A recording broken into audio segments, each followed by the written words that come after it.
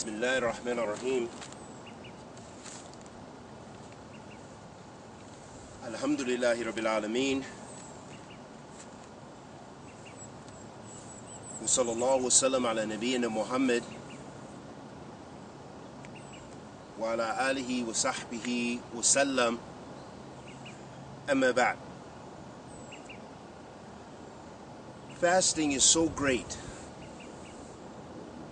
that Allah subhanahu wa ta'ala has mentioned in so many verses in the Quran that is an expiation for sins. And it's an expiation for some of the major sins like killing. That if a person kills by accident or various other sins or shortcomings in one's uh, certain acts of ibadah like Hajj and so forth That shows us the greatness, the greatness of fasting. For example, Allah subhanahu wa ta'ala says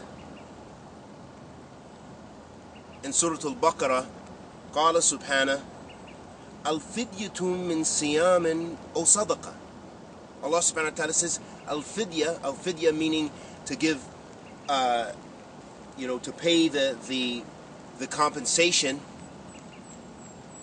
and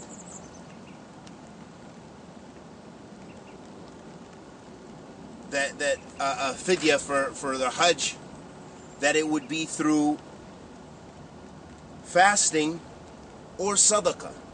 By fasting or paying giving sadaqah giving charity. And Allah subhanahu wa ta'ala also mentions for the expiation for the one who has killed someone accidentally, that it was an accident, and that you know that there's no qasas for them in that situation, maybe through an, an automobile accident or what have you.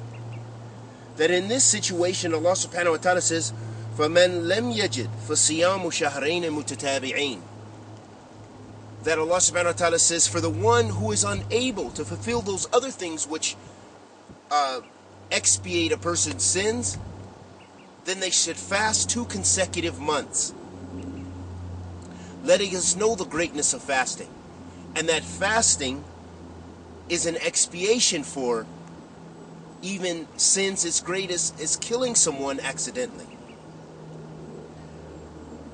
And Allah subhanahu wa ta'ala also says, as uh, you know, lets us know that fasting also is an expiation for the person who has sworn to do something for the sake of Allah subhanahu wa ta'ala and they didn't fulfill it, has made a vow. Allah subhanahu wa ta'ala says, فَمَنْ, فَمَنْ لَمْ يَجِدْ فَصِيَامُ ثَلَاثَ أَيَّامٍ That's in Surah Al-Ma'idah. Allah subhanahu wa ta'ala says, that the one who is who, who doesn't find it, meaning finding a slave to, to free, then they fast three days. Again, illustrating for us that fasting is so azim, it is so great, and that it is an expiation for our sins.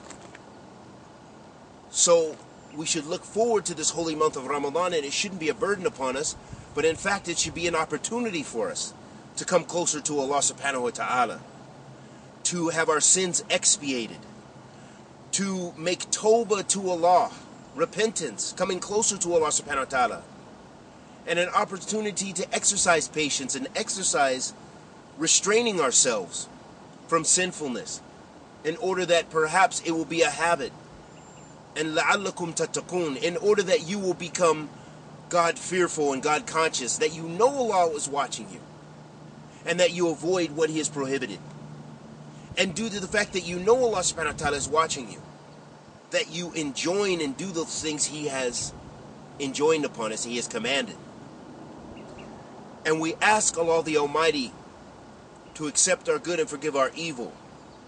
Anything I said that was correct was from Allah subhanahu wa ta'ala anything that I said was incorrect was for myself and the shaitan. And may Allah forgive us for our sins and bless us in all our efforts to do good and forgive all of our sins. وصلى الله وسلم على نبينا محمد وعلى آله وصحبه وسلم